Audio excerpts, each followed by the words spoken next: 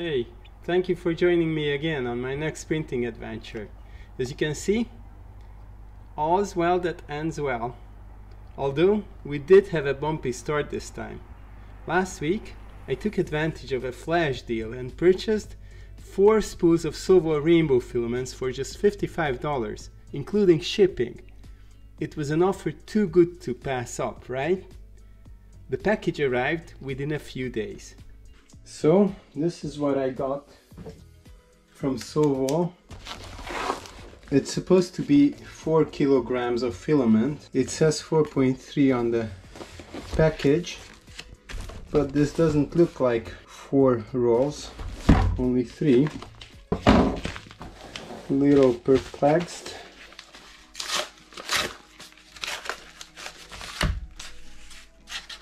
It has my name on it. What's in here? What on earth is this? I'm really not sure what these are. But nothing I ordered.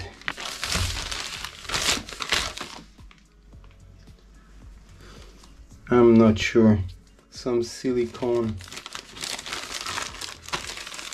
Some things.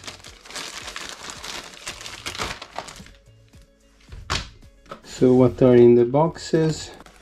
It surely said 4 kilograms on the website. Okay, so this one is Rainbow R. One of the colors didn't come. So here's another one.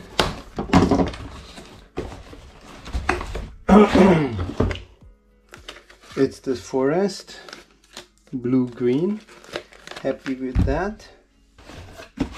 The third one is called candy. Three boxes. I paid for four. And I have no idea what this thing is that they sent. What, what this is supposed to be. Haven't got the slightest idea. So I contacted Sovol and they promptly replied to me Turns out this is a partial fulfillment of my order, despite the order page still indicating it was fulfilled.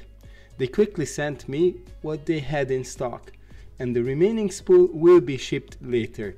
At least that's what they promised. And if something similar happens to you, there might be no need to worry.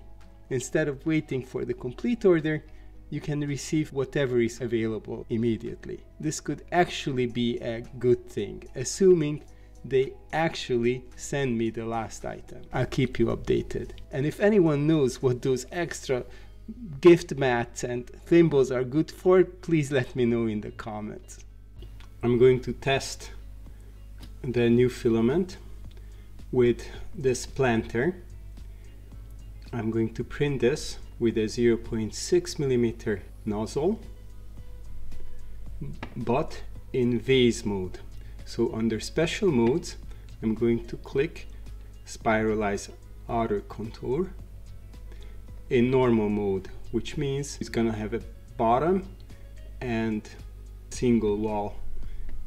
In this case in vase mode we can use a 0.3 layer height and since we have a 0.6 millimeter nozzle we can go as high as 1.2 millimeters of wall.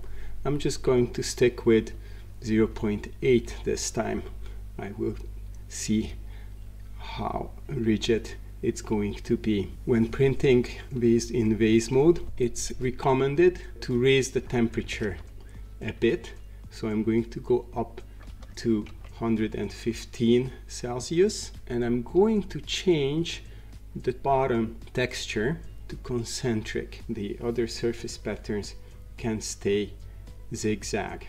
I'm going to reduce the number of bottom layers to just three and very important cooling normally with my modified part fan PLA prints perfectly at 70% but this time I'm going to increase the fan speed to 100% so I can print at full speed. When it comes to speed, I will try to stay with 150 millimeters per second and I'm actually going to increase the initial layer speed to 60 because I see no reason to make it slower.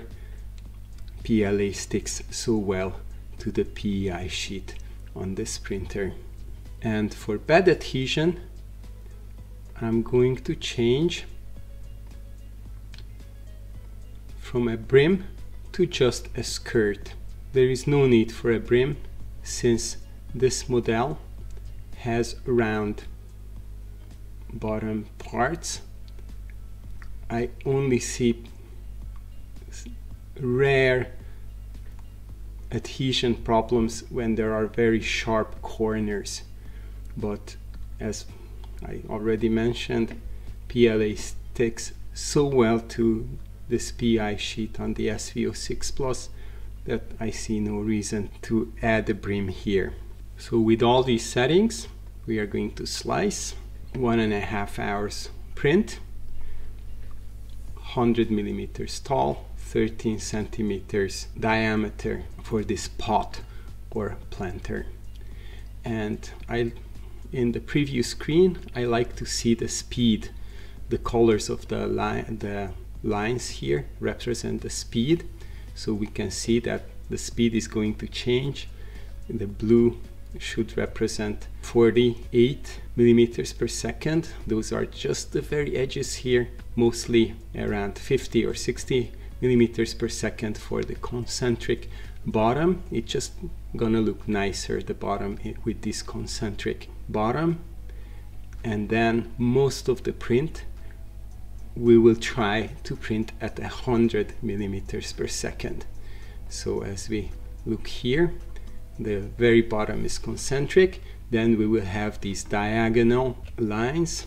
Since we have pretty thick layers, almost a millimeter altogether, and then just the single wall. You can see how it grows as I go up with the lines here. Okay, and with all these settings, I can save it to the SD card. Since my Octoprint server is not fast enough for vase mode, let's use the handy full-size SD card reader on the top of the printer this time. The trick with this solution is to turn on the printer only after the card has been inserted. The stock firmware on the SV06 Plus will not refresh the file list when a full-size SD card is inserted. See my other video about the full-size SD card mod. I'm loading the filament called Candy for this test. The spool starts with a gold and purple color I drive it through the filament runout sensor and then use the menu command to load it, feed it, clean the PEI sheet with IPA isopropyl alcohol for best PLA adhesion. And now it's heated enough so we can load the filament and the last color I used was red so I had to feed some extra. Now we pick the file from the SD card and start to print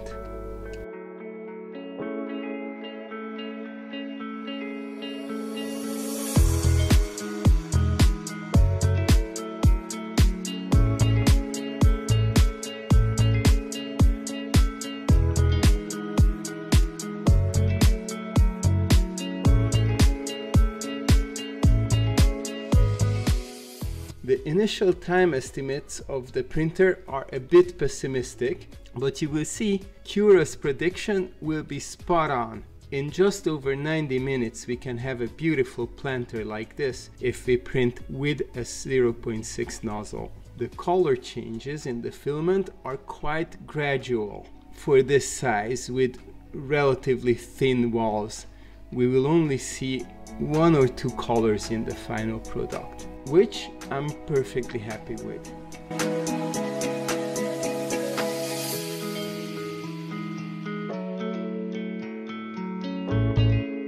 When printed, this filament has kind of a metallic look to it, very fitting for the current purpose I'd say.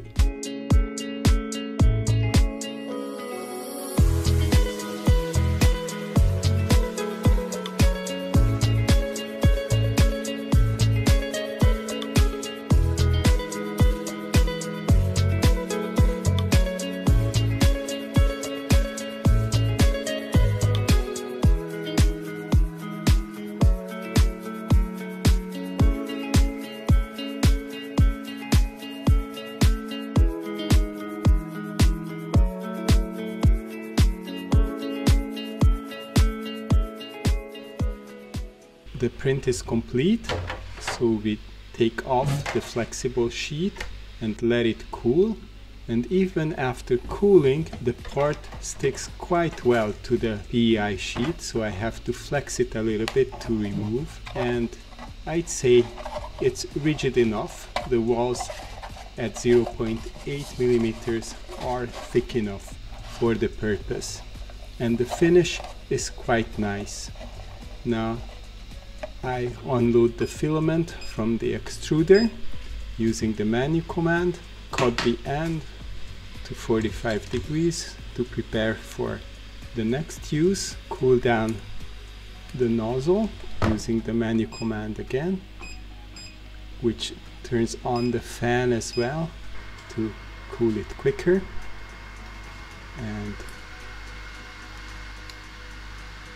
we will pack away the spool in a vacuum bag which I got as a gift from Sovol but I'm not using their hand pump only to open the valve and then